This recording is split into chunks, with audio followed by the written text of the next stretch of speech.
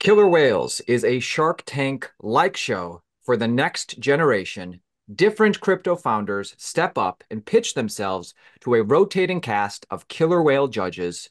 You can watch this show right now, linked below. This show will be premiering on Apple TV very soon. Austin and I are part of the Killer Whales judges, also producers on the show. Killer Whales, such an exciting show to watch. Things get personal sometimes. Explain it to her like she's five. Thank you. If we fail, the world is the back and forth with the contestants. How are you going to compete with the big boys, the Spotify's, the Apple Music? Those are the biggest competition, and they're not going to let you guys just roll in. The back and forth with the judges. And I also would be willing to pay you to headbutt Mario when this is over. Now, Paul, you are the creator of Killer Whales and the founder of Hello Labs. Now that the show's out, what's been the initial reaction to the show? I mean, it's been overwhelmingly positive. I think when you put something like this into the world that we've all worked on together and we've chipped away at this kind of massive block of ice to make it into something that's kind of the public will really want. I think when you give it to the world, you're always expecting mixed, mixed emotions. And I think what's been really apparent so far is that it's been overwhelmingly positively received. I think there's certain things that we can improve on for future seasons and, and, future episodes. But what I love is like people's reactions online when they're kind of seeing the production quality, they're seeing the back and forth between the whales, they may be learning more about crypto than what they went in with knowing. And I think overall is like uh, a sum of its parts. I think it's a really great step for, for Hello Labs, for Killer Whales, and hopefully the the entire crypto industry, because I do feel it's going to be that bridge between the kind of crypto industry and then the mainstream of people, your mums and dads, your aunties and uncles sitting at home, kind of wondering what we're all talking about online every day. And hopefully they can watch Killer Whales and get a kind of better insight into the industry and how and the people behind it one of the things that was most exciting to me was production quality. And obviously, you come from that world, creative producer of the MTV Movie Awards or um, VMAs, sorry, VMAs. And um, uh, my question to you, like, what are you most? Only one to two episodes have aired thus far. What are you most excited for for the rest of the episodes that have yet to air? I think it's um, one of the things I'm most excited about is kind of seeing people's reactions to the individual themes in each episode. So obviously, episode one is kind of real world use cases. Episode two is entertainment. Three is gaming. Four is digital security, and five is NFTs.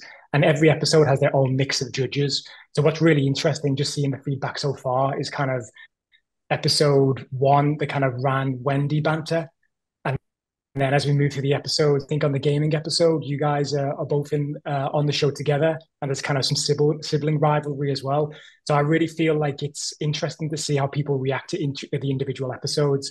And then, as you mentioned about the production quality, I think what this industry is really lacking is kind of real kind of production quality, not only from a TV and content point of view, but also from a kind of just an overall kind of raising the bar. And I think Killer Whales, at first glance, you kind of see the Hollywood production value behind it and the time and effort that's been put into it. And it just makes you want to watch it. Well, I hope so anyway. It makes you want to watch it that little bit more. Uh, not that I'm saying I love, obviously, Altcoin Daily production value is always super high with your beautifully blurred backgrounds.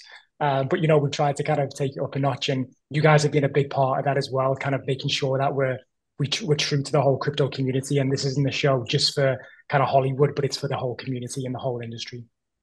One of the questions that I've been getting for months is where will I be able to watch this show? Is this coming to any streaming service that I can watch it on? And big news as of March 11th, this show will be available on Apple TV, which is a pretty big deal. C- could you tell us more about that? Yeah, absolutely.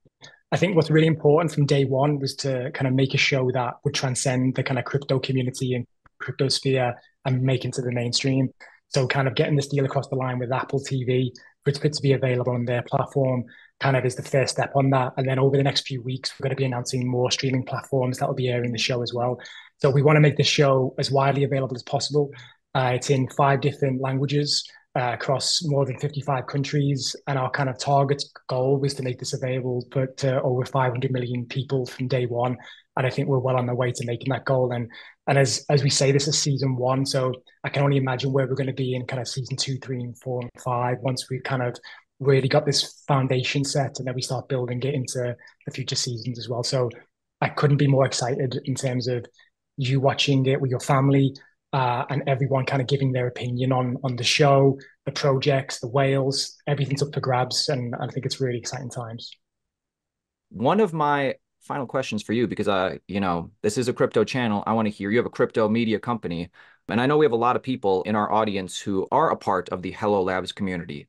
So, what's next for Killer Whales, and also what's next for Hello Labs?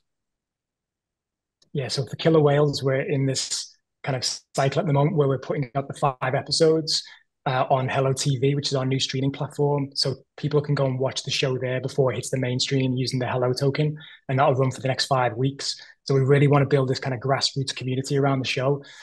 And then as of the week commencing March 11th, that's when it will start hitting the streaming platforms. And you'll see a kind of more traditional marketing campaign with billboards and in Times Square and LA and London. And then once we're through that, then we've set the foundations for Killer Whales. And hopefully by then, Touchwood, it'll be a household name. And then the, the challenge then is making season two. And obviously, I, I think, I don't know if we've announced this publicly yet, but I, I, know you guys are back as producers and, and Whales on the show. Uh, we're looking to expand the season, do more episodes, kind of more drama, and, and just kind of build on what we've got as a foundation. So that's what we're looking for Killer Whales. And then for Hello Labs, we we kind of our focus over the last year has been predominantly on killer whales. I think now that we've succeeded successfully landed this plane, I think the next step is now how can we add more token utility? We're looking at ways of kind of building in some kind of I don't want to give too much away, but it's something that once Killer Whales is is out the way, we'll be able to expand on. But there's more token utility coming. And yeah, I think it's an exciting time. And and this whole crypto market, I mean, as we are recording this today, I don't want to date this show, but the kind of Bitcoin just hit, hit over 50K. Um, and I feel like the ETF and, and the whole industry's got a buzz about it again. And the hope is that Killer Whales and, and Hello Labs can be kind of spearheading that as well and, and kind of bringing in new faces, which is why we're called Hello after all. I did want to ask you this, Paul. Is there any notable thing that you're that you're updating or changing about season two that you learned from season one? For example, I think it's become more defined, like a prize that you know contestants win mm-hmm. if they get mm-hmm. all five sinks. Like, what have you learned going into the next season? I think one of the main feedback, the main feedback we've got is kind of how do we raise the stakes? I think some people watching the show are kind of looking at it like, yeah, it looks great. and kind of getting some crypto knowledge, it's sinking and swimming. But what do the actual projects get? I mean, we know that they get the exposure to the people at home. That's the kind of key thing the projects want. But I think what we can work on is how do we add some kind of uh, uh like raise the stakes even more. So for season two, we'll be looking at ways of doing that. And I think there's some ideas that I've got, and, and we should talk offline about it as well about how we can expand that because what makes the show really great is that sense of a game show, reality show as well. And, and I think we really need to build on that for season two. And, and we've got some clever ideas, I think, which will really up the up the stakes.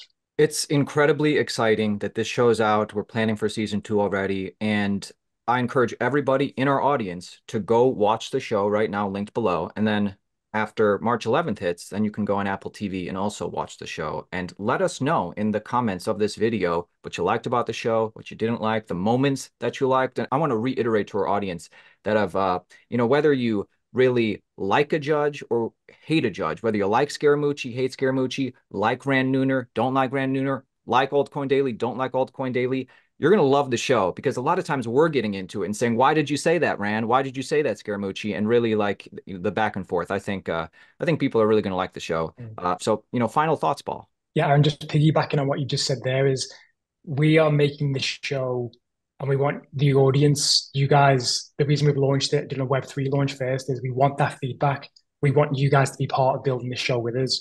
And if you've got any ideas for judges for season two, projects for season two, um, then come to us in the comments or come to the Hello Labs Telegram chat, kind of get to know us a bit better and help us kind of shape the show and the vision that the whole industry wants because we're doing this as much for the crypto community as we are for to make a TV show. It's as much about the TV show being on Apple and the other platforms as it is about being in the Web3 community as well.